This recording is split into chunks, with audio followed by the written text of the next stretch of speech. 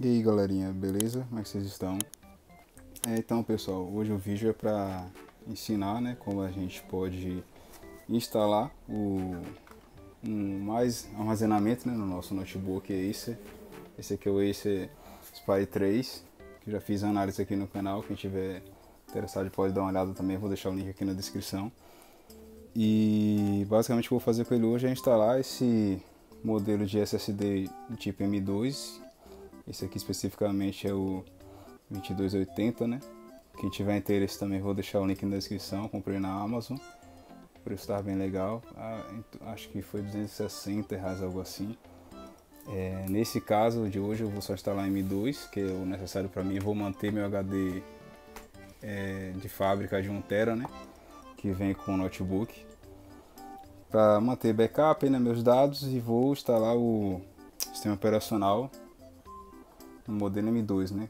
Que tem só 240 GB de espaço, mas é o suficiente para instalar todos os programas que eu uso e o sistema operacional. Pronto, galera, já tirei aqui cada parafusinho, né, da tampa. Tem umas dicas para dar nessa parte, tá? Para ficar mais fácil para vocês. É, primeiro, você, se puder, use uma, uma chave com algum tipo de magnetismo, né? Caso você não tenha, você pode pegar algum imã. Esse aqui é um imã que eu uso do, de um HD, esfrega um pouco, né? e aí ele vai ficar levemente magnetizado. Por quê? Porque os parafusos são muito pequenos. Então para você cair de sua mão ou, ou perder é muito, muito fácil, né? E isso também é legal, você ter um tipo de porta parafuso, alguma coisa assim. É uma coisa para você armazenar os parafusos separados. Aqui mesmo são das, da capa, aqui isso é do HD, enfim. Para que você tenha esse cuidado, esse controle e outra coisa legal também é você ter uma espécie de espátula, alguma coisa assim dura que você possa esfregar, né? Na, na tampa, porque dessa forma você vai soltando de forma mais fácil, entendeu? Você encaixa aqui e vai deslizando, ele vai soltando aos poucos. Isso aqui também ajuda a não danificar a carcaça, né? Do seu notebook. É, tem que tirar o HD aqui, né? Para não ter risco de, é, enfim, danificar ele. A título de curiosidade, eu vou mostrar aqui para vocês como é o HD. Basicamente a diferença dele é essa, né? Ele é tipo um, um disco compacto, o de cá é sólido, mais compacto, eletrônico. E daqui é mais mecânico, tem um disquinho aqui dentro que ele vai gravando os dados, inclusive até mais pesado. É, a tampa aqui já consegui remover a tampa, né? Aí tá aí nosso notebook. Já identifiquei aqui, né? Já que tá o M2, tá vendo? O formatinho aqui bonitinho dele. É justamente o que cabe esse aqui que eu comprei. Tá? É... Basicamente o que a gente precisa fazer é só encaixar no slot aqui e prender esse parafuso aqui, né? E tampar e botar tudo de volta. Basicamente é só isso, tá? Não tem muito mistério não. Bom, outra dica legal também que me passaram é que é interessante a gente remover a bateria aqui, né, no caso. É, como é que a gente remove aqui, né? Desconecta nesse plugzinho aqui, tá vendo? Que alimenta a bateria. A gente vai usar aqui a espátula para poder desconectar ele. E aí poder manipular os, os componentes com mais segurança. Inclusive isso que eu estou usando aqui, essa luva, não é só estética, é uma luva antistática. É uma luva que previne que haja condução aqui estática do nosso corpo, né? Que nosso corpo está cheio de elétrons.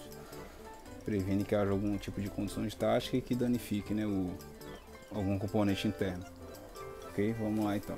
Bom galera, nessa parte aqui não tem muito mistério, né? Como eu falei, a gente só faz é, basicamente tirar ali o, o parafusinho, né? Fica aqui nessa região. Eu já tirei aqui para adiantar. E vamos agora analisar ali o encaixe, né? Você perceber direito, ele tem essa forma aqui de entrar, né? Que é com a logo para cima. Então tudo que a gente precisa fazer é só chegar aqui e encaixar. Muito cuidado, né? Porque é um, um, um produto bem, bem delicado. Dá empurradinha, pronto. Você percebe que ele entrou. Beleza, encaixou certinho. Agora você vem aqui e põe de volta o parafuso. Empurra um pouco. Aquela linha aqui, né? Com um parafuso. E você põe de volta aqui a importância do, do, da chave magnética que eu falei. Tá vendo? Pronto. Bom, pessoal, basicamente é isso. Já coloquei aqui, já está, fiz a instalação do SSD M2. A memória tá tranquilo, ainda não chegou, mas eu vou fazer um upgrade também da memória e vou postar aqui um vídeo depois sobre isso. É bem tranquilo, muito mais fácil até. E já coloquei de volta a fonte de energia também, alimentação. E pronto, basicamente é isso. Só colocar de volta a carcaça, né? Aqui na, na tampa traseira. Tá vendo como ela é feia por dentro, né? Enfim, vamos botar aqui de volta, colocar o HD novamente e pronto. Beleza? Vamos lá. Bom, para encaixar de volta, basicamente você tem que se preocupar apenas em encaixar perfeitamente aqui, né, no lugar. E aí em cada parte dessa do parafuso você vai dando a pressionada de leve e vai ver uns estralos, tá vendo? De encaixe para poder garantir que tá bem encaixado, principalmente nessa parte aqui superior, que é onde fica a dobra do, do laptop. Após isso, tranquilo, vem com os parafusos e coloca tudo de volta. Ah, tem outra coisa que eu já ia esquecendo. Por exemplo, quem quiser atualizar o SSD desse tipo aqui, a hora agora, por exemplo, você coloca aqui no lugar do HDD. Basicamente é só isso, encaixa o mesmo SATA, não tem muito mistério, tá vendo? É bem simples aí de colocar. Colocou, de volta já foi. Beleza? Mas não é o caso aqui hoje. Eu vou botar de volta o HD original aqui, que veio de fábrica de 1 tera. Bom, galerinha, então é isso. Já fechei aqui todos os parafusos, né? Já coloquei de volta todas as tampas, todos os componentes. Tá? É, a dica que eu dou aqui é você fazer com bastante calma, encaixando, apertando devagar para ver se realmente ficou tudo bem encaixado. É, se algum parafuso está girando e não finaliza, é porque muito provavelmente essa região do parafuso ainda não foi bem pressionada, não houve aquela trava, né, aquele track que a gente escuta. Então você pode observar também essas questões. É, lembrar sempre de organizar os parafusos, né? Em um pires, um prato ou alguma coisa similar a isso aqui, para que você não se perca aí quando for botar de volta. E basicamente isso. Lembrar também de conectar tudo de volta, o HD, a fonte de alimentação e prender direitinho lá o M2, né? Então é isso. É, vamos dar uma olhada aqui agora no, na tela se tá, o sistema está reconhecendo o M2, está tudo certinho. Beleza? Vamos lá então.